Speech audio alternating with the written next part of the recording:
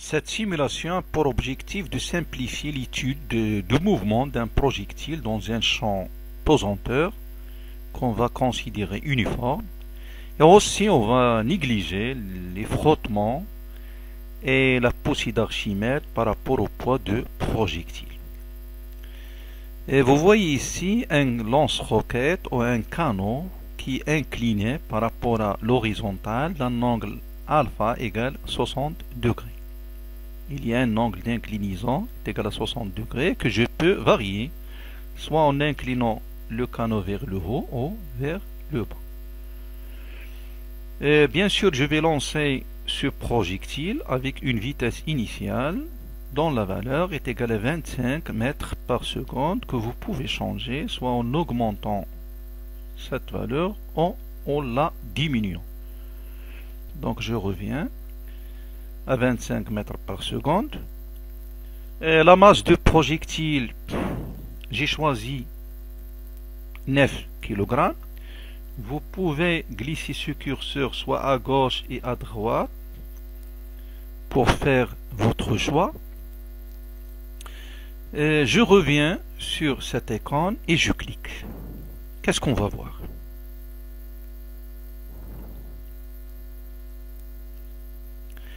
Vous voyez que le projectile, ou précisément le centre d'inertie de projectile, décrit une trajectoire en bleu, une trajectoire parabolique d'équation mathématique y égale ax carré plus bx plus c. En considérant l'axe OY c'est l'axe vertical et l'axe OX c'est l'axe horizontal. Il y a une variation de y fonction de x selon l'équation déjà dite y égale ax carré plus bx plus c. C'est une forme parabolique. Je vais vous expliquer comment déterminer deux choses ou deux grandeurs très caractéristiques de la trajectoire parabolique. Ce sont la flèche petit h et la portée petit d. Eh bien, comment calculer la portée petit d? La portée petit d, c'est la distance qui sépare le point de départ, le point de lancement de projectile et le point d'arrivée, c'est-à-dire le point où le projectile a tombé. Pour déterminer cette distance, je vais cliquer sur ce truc, je le place sur la position 0, voilà, c'est 0, il est bien étalonné. Je le glisse à droite jusqu'à arriver au point où le projectile a tombé.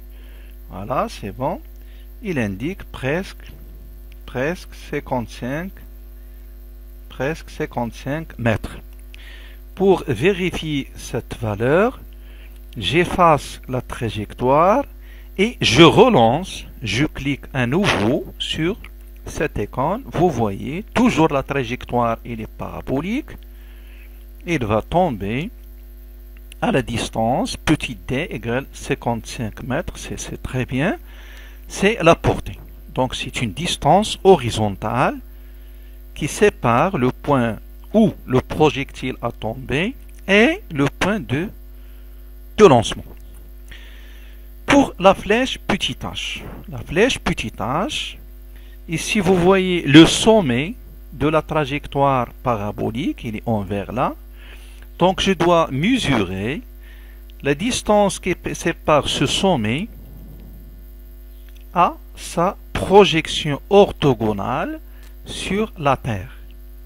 C'est-à-dire, c'est la distance qui sépare le sommet de la trajectoire à au point de projection de ce sommet sur la Terre. Je vais utiliser cet instrument. Il y a deux points. Le premier point doit être ou doit représenter la projection orthogonale de sommet sur la Terre. Je vais essayer. Le deuxième point en rouge, je vais le tirer et le mettre sur le son. Donc c'est pas vertical, je dois glisser vers la droite, un peu vers la droite cet instrument et retirer l'extrémité pour le mettre sur le sommet.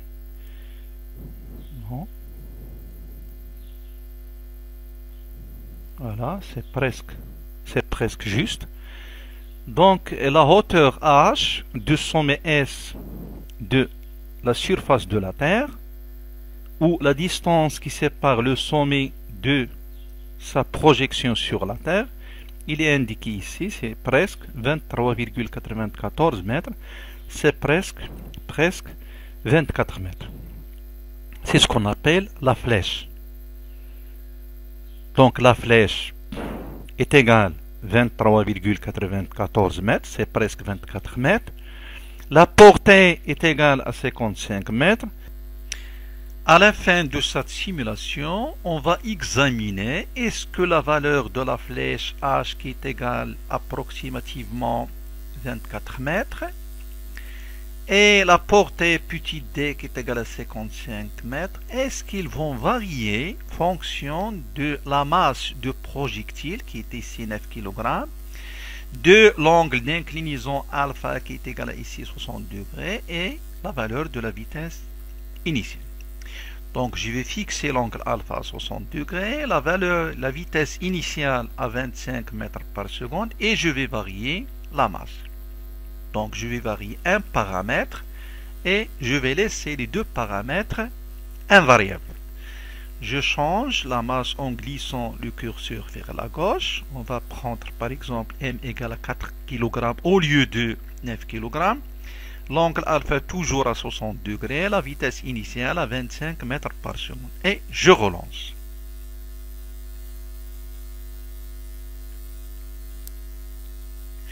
Vous voyez que le projectile garde la même trajectoire, c'est-à-dire la portée petit h reste 24 mètres approximativement, la portée reste 55 mètres. Je conclus que la masse du projectile n'agit pas, ne varie pas, ne change pas la valeur de la flèche petit h et aussi de la portée petit d. Donc je laisse la masse à une valeur quelconque, 4 ou 9, kg. Et maintenant, je vais changer l'angle d'inclinaison. On peut revenir à la masse petit m égale 9 kg. Je vais incliner ce requête vers le bas ou vers le haut. Et je relance le projectile. Regardez ce qui se passe. Le projectile n'a pas gardé sa trajectoire parabolique. Automatiquement, la flèche petit h va changer et la portée aussi. Donc on peut dire que le facteur alpha, l'angle d'inclinaison du vecteur vitesse initiale par rapport à l'horizontale, c'est un facteur déterminant, c'est un facteur influençant sur la valeur de la flèche et de la portée. Je reviens à 60 degrés. Et maintenant, je change la vitesse.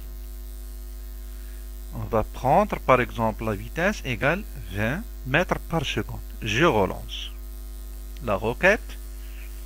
Vous voyez aussi que le projectile a changé sa trajectoire parabolique. Automatiquement, la valeur de la flèche H et de la portée petit d, ils vont changer. On conclut donc que parmi les trois facteurs, la masse de projectile, l'angle d'inclinaison alpha et la vitesse initiale, les deux facteurs seuls qui influencent sur la valeur de la flèche ou de la portée sont la valeur de la vitesse initiale, la valeur de l'angle alpha, mais plus la valeur de la masse de projectile. Donc, la flèche et la portée sont indépendants de la masse, mais ils sont dépendants des valeurs de l'angle alpha et de la vitesse initiale.